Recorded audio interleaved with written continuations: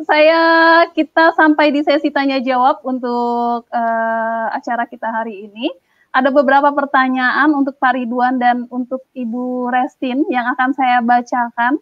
Yang pertama dari uh, Sabir SPD, Bapak Sabir SPD, UPT SD Negeri 184 Pinrang. Pertanyaannya adalah, bagaimana langkah terbaik meyakinkan orang tua jika masih ada orang tua seorang anak yang belum meyakini adanya suprarasional, Pak, gitu Pak. Jadi silakan Bapak mungkin uh, memberikan tips dan triksnya meyakinkan orang tua tersebut. Uh, sebenarnya bukan hanya orang tua yang belum yakin ilmu suprarasional, banyak orang Indonesia yang belum yakin dengan ilmu suprarasional, Pak. Jadi Pak oh iya, gitu ya. Masih banyak, makanya yang sedang ingin saya lakukan saat ini adalah menyebarkan konsep suprarasional itu ke berbagai daerah. Caranya pertama, saya membuat buku yang kedua tentang suprarasional, judulnya karakter suprarasional. Sekarang sedang proses. Saya pun membuat pelatihan-pelatihan suprarasional secara online, ya, supaya orang bisa tahu. Karena terus terang, jika guru orang tua siswa, para pejabat paham tentang ilmu suprarasional, insya Allah negeri ini akan menjadi negeri besar, jadi bangsa besar. Jadi terus terang bukan hanya orang tua tadi, tapi banyak Indonesia, rakyat Indonesia yang belum paham. Jadi mungkin nanti solusi yang paling sederhana tonton di YouTube saya itu tentang apa itu cara berpikir suprarasional. Nanti mungkin Bapak bisa mengajarkan ke orang tua tersebut atau ke semua orang tua yang di Bapak. Itu mungkin, Pak. Ya, ada kanal YouTube-nya ya Pak ya. Uh, mungkin ya, bisa disebutkan kanal YouTube-nya apa Pak? Ridwan Hasan. Ridwan Hasan Saputra Bu. Oke. Jadi Bapak Ibu mungkin bisa juga jangan lupa like, comment, and subscribe. Juga ditonton video-video yang ada di kanal YouTube Pak Ridwan Hasan Saputra. Berisi ya. berbagai uh, video juga tentang supra, suprarasional tadi ya Pak ya. Dan KPMC ikhlasnya Bu, kanal YouTube. KPMC ikhlasnya pun itu ada. Oke, okay, siap. Baik, uh, selanjutnya terima kasih Pak Ridwan untuk jawabannya. Mudah-mudahan uh, Pak Sabir bisa memahami jawaban tersebut. Selanjutnya pertanyaan untuk Kakak Restin dari Pak Saleh Situmorang di Toba. Jauh sekali ini bagaimana meyakinkan berbagai pihak agar model pembelajaran dengan memanfaatkan TV edukasi dan rumah belajar dapat diterima siswa, orang tua, dan pemangku kebijakan. Nah, Karestin kan sudah melalui semua ini ya, jadi mungkin bisa memberikan jawaban, silakan. Ya, uh, terima kasih. Halo Pak Saleh Situmorang dari Toba. Wah, kita ujung-ujung nih Pak. Baik, uh, kalau untuk meyakinkan sebenarnya uh, untuk saya sendiri Pak Pak Saleh, Pak Situmorang ya. Kalau saya sendiri memang uh, di Provinsi Papua ya untuk TV edukasi dan rumah belajar pada masa lock, masuk lockdown itu uh, belajar dari rumah memang kita sudah ada surat dari uh, Dinas Pendidikan Provinsi Papua. Jadi itu sudah tertulis di dalam bahwa pembelajaran seperti ini yang uh, disarankan oleh pemerintah dan dinas provinsi. Memang melihat kondisinya kami di Papua banyak banyak uh, tawaran seperti itu yang diberikan oleh uh, dinas pendidikan dan uh, untuk pembelajaran bagaimana dengan ke siswa ya kita harus melakukan gitu Bapak Ibu uh, karena kami kemudian memberikan saran bagaimana menggunakan rumah belajar dan TV edukasi. Khusus untuk rumah belajar ya apa pun yang kami lakukan siaran termasuk uh, sapa DRB dan lain-lain itu kami uh, ngepost di sosial media dan memang kami memperlihatkan bahwa ini adalah pembelajaran yang baik jika kita melakukan dengan rumah belajar seperti itu.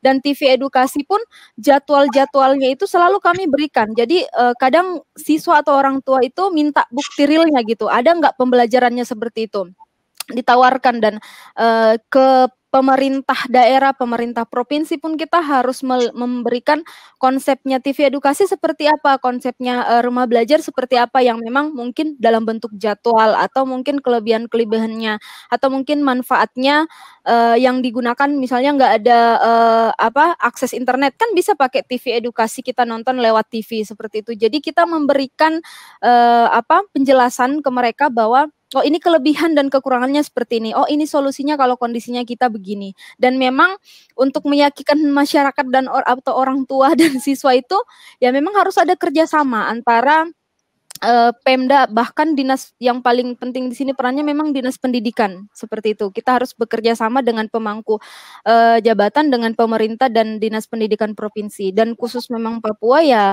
puji Tuhan sangat didukung dan kami berharap bahwa pemerintah provinsi yang lain pun melihat bahwa agenda yang diadakan oleh Rumah Belajar dan TV Edukasi ini dan TVR ini uh, bahkan suara edukasi itu memang bermanfaat di masa kondisi seperti ini. Terima kasih Pak Situmorang saya kembalikan ke Kak Dona. Ya, kemudian juga kalau misalnya kita udah melihat hasilnya, ya para pemangku kebijakan itu melihat hasilnya bagaimana anak-anak bersemangat untuk belajar uh, bersama TV edukasi dan rumah belajar, otomatis akan uh, memberikan izin ya, memberikan ya, uh, tanggapan positif ya, Kak Restin ya.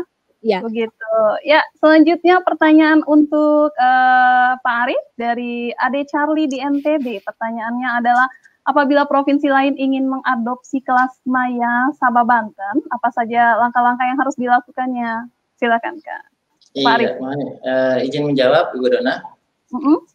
Baik, uh, sebelumnya uh, mohon maaf nih terbatasan informasi yang saya miliki uh, ada satu kelas maya lagi Bu Dona nih yang terlewat. Maaf sekali uh, terlewat ya Bapak Ibu ya. Tadi ada milik dari Sumatera Barat ya si Cadia itu namanya itu kelas mayanya. Mohon maaf tadi terlewat untuk disebutkan. Nah tadi ada pertanyaan dari Pak Charlie ya di NTB bagaimana kalau provinsi lain ingin mengadopsi?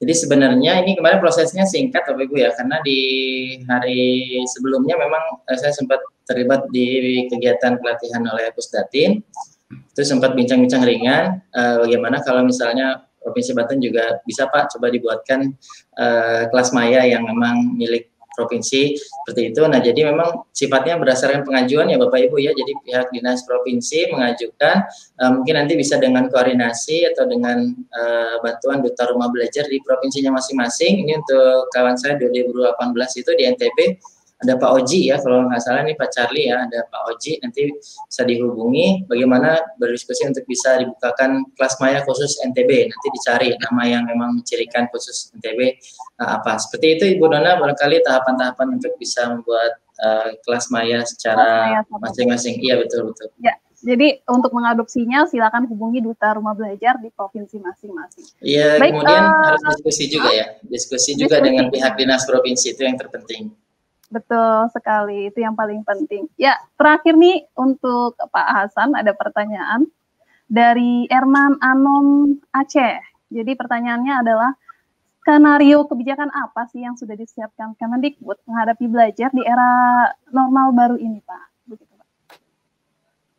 Nah, jadi terima ya. kasih pertanyaannya. Sebetulnya beberapa waktu yang lalu uh, Mas Menteri kan sudah mencanangkan program yang namanya Merdeka Belajar. Jadi ini sekaligus menjadi jawaban konkret dari skenario kebijakan apa yang nanti akan besar kemungkinan yang akan terjadi ke depan pasca era pandemi COVID ini. Jadi merdeka belajar yang disampaikan eh, menjadi uh, salah satu ruh gitu ya dalam proses uh, pendidikan ke depan itu menuntut kreativitas dan inovasi dari satuan pendidikan dan semua komponen yang ada di dalamnya.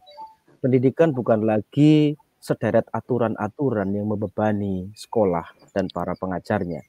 Tapi pendidikan adalah upaya untuk membebaskan kreativitas untuk berinovasi sehingga adik-adik kita itu mereka mengetahui terkait apa yang paling baik untuk dirinya. Bapak Ibu guru nanti akan eh, apa namanya menjadi fasilitator, kemudian sekolah juga akan menjadi tempat eh, kreativitas dan inovasi itu akan dikembangkan sehingga Eh, kita harapkan eh, pandemi COVID yang ada ini benar-benar sebuah gerbang baru. Dulu kami berpikir bahwa proses digitalisasi pendidikan atau transformasi pendidikan berbasis digital itu akan kita mulai beberapa tahun kemudian walaupun cikal bakalnya sudah ada sekarang. Tapi pandemi Covid ini memaksa kita harus membuka gerbang baru, a new portal di mana kemudian terjadi shifting perubahan paradigma pembelajaran dari yang sebelumnya menjadi next era di mana kemudian kita tidak bisa melepaskan dari peran teknologi di dalamnya. Dan di titik ini Merdeka Belajar menjadi sebuah filosofi untuk kemudian bisa dipegang para Bapak Ibu guru, para satuan pendidikan, orang tua bahwa kreativitas, inovasi itu menjadi sesuatu yang wajib dan menjadi sebuah apa namanya piranti untuk kemudian kita bisa melakukan proses belajar mengajar yang lebih baik. Apa itu merdeka belajar?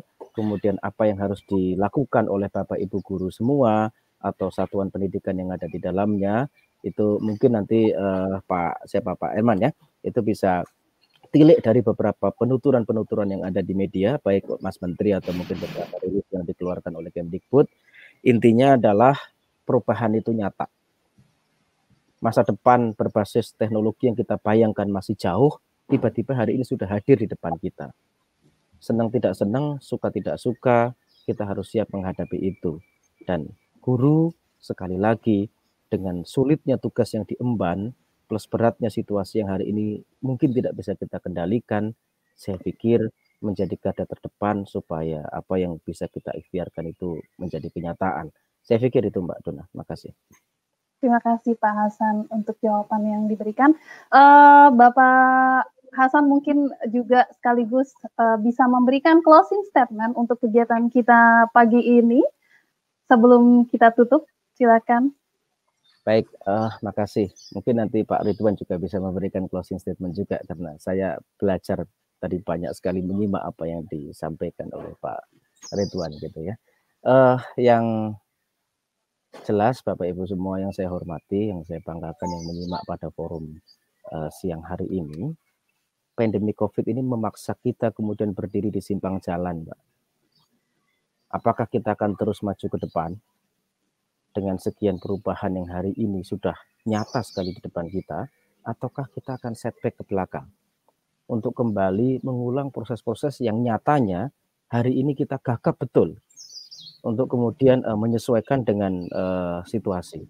Hal-hal yang sifatnya artifisial kita banggakan dalam proses pendidikan selama ini, gedung sekian lantai misalnya, terus kemudian fasilitas sekian mewah, ternyata tidak bermakna apa-apa di hadapan satu virus kecil corona yang membuat kita semua seakan-akan tidak berdaya kira-kira gitu. Jadi saya pikir uh, pandemi COVID ini atau new normal nanti kita harus meredefinisi ulang apa sih yang kemudian ingin kita berikan yang terbaik buat peserta didik kita. Apa yang kemudian kita bisa lakukan semaksimal mungkin untuk mendampingi mereka menyalakan api belajarnya. Dan uh, saya pikir pandemi COVID-19 ini justru momentum yang terbaik buat kita untuk semakin bisa apa namanya melakukan inovasi, uh, berikhtiar dan apa namanya tentunya menerapkan proses-proses pembelajaran abad 21 yang sering kali kita dapatkan di seminar-seminar yang selama ini masih berhenti di atas kertas. Ya, Sekarang mungkin ini saat yang baik buat kita untuk melakukan shifting itu tadi dan uh, insya Allah saya optimis sekali lagi guru-guru uh, yang terlibat dalam rumah belajar, baik itu duta rumah belajar atau sahabat rumah belajar, mampu untuk mengeksplorasi itu dan mewujudkan itu semua. Itu demikian closing statement dari saya. Terima kasih. Selamat siang. Assalamualaikum warahmatullahi wabarakatuh. Waalaikumsalam warahmatullahi wabarakatuh. Nah, tadi Pak Ridwan udah diminta sama Pak Hasan untuk memberikan sedikit saja closing statementnya mungkin. Silakan Pak Ridwan. Uh, menurut saya COVID-19 ini saatnya kita bagi bangsa untuk mengaktifkan tiga antena kita. Antena panca indera, antena akal, antena hati. Antena hati, waktu zaman kemarin saya menawarkan tentang ilmu suprarasional, bahasanya tidak laku. Tapi saat ini saya seperti menemukan jamur yang akan hidup di tempat yang lembab.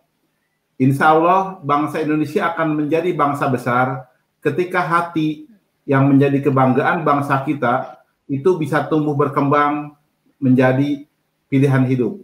Artinya ilmu suprarasional juga harus kita kembangkan dengan berkembangnya era new normal. Karena menurut saya hanya dengan penambahan suprarasional kita akan menjadi bangsa besar di hadapan bangsa lain. Karena ingat, bangsa kita adalah bangsa yang percaya kepada Tuhan yang Maha Kuasa yang itu jarang dimiliki oleh bangsa-bangsa yang saat ini maju. Itu saja dari saya. Terima kasih. Terima kasih kembali Pak Ridwan Hasan Saputra. Baik Bapak Ibu narasumber juga seluruh sahabat rumah belajar yang menyimak uh, sampai pukul 11 lewat 17 ini saya ingin mengucapkan terima kasih kepada Pak Hasan, kepada Pak Arif Budiman, kepada Pak Ridwan Hasan Saputra, juga kepada Ibu Restini Yusuf yang sudah bersedia menemani akhir pekan kita untuk berdiskusi bersama. Nah, sahabat rumah belajar seluruhnya yang ada di Indonesia juga yang menyimak dari luar negeri mungkin bila kalian ketinggalan untuk uh, menyaksikan secara live tayang ini, kalian juga bisa menyimaknya ulang di kanal YouTube Rumah Belajar pada alamat Rumah Belajar Kem Kemdikbud dan YouTube uh, eh, TV Edukasi yaitu TV televisi edukasi begitu.